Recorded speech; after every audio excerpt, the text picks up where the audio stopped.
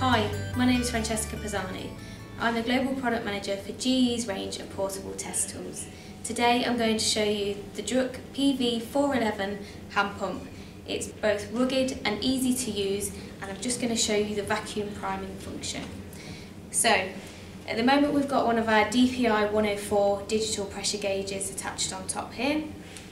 We've also got the hydraulic reservoir so if we pull the volume adjuster and turn that right out as it is at the moment, if we then turn the selector valve to the vacuum mode, which is the V position that you can see here, if we start to just pump the scissor handles, you can clearly see that we're pulling a vacuum now. So if we turn the selector valve back in, to P, which is the pressure mode. In some instances, you may just want to vent the reservoir, so if you just unscrew that slightly, pop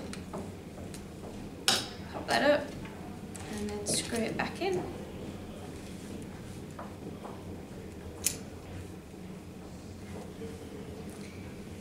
In a normal application as well, you would probably have a, your process connection here. For the sake of this demonstration, we've got a blanking plug. So as you can see from the display here, we're back at zero. So I'm just going to tighten the scissor handles in so that we can easily generate a hydraulic pressure. As you can see here, the handles are slightly moving in.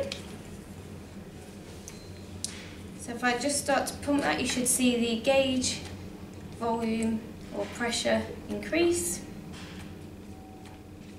So we've gone up to 12 bar just with the scissors. And then if we tighten in the volume adjuster, you